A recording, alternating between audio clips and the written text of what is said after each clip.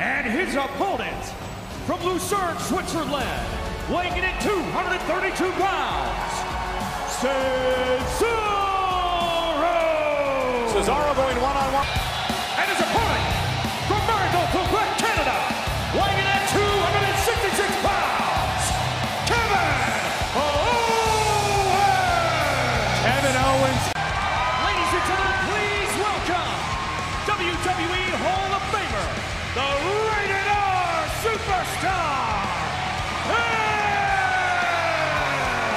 Edge has a few. Uh, The following contest is a triple threat match scheduled for one fall.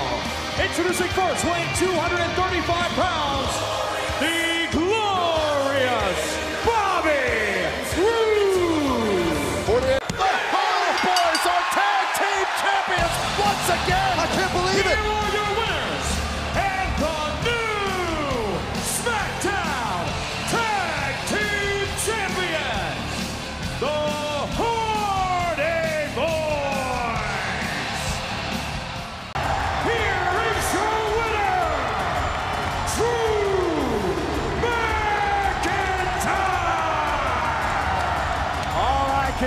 Introducing the challenger from Kyoto, Japan.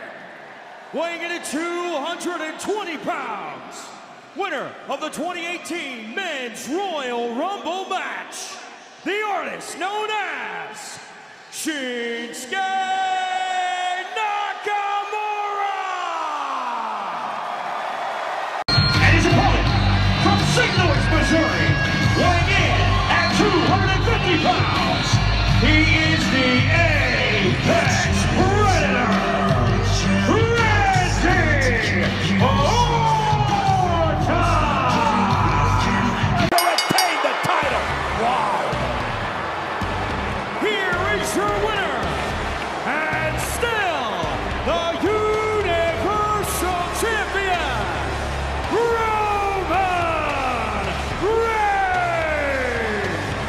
Styles has done it again.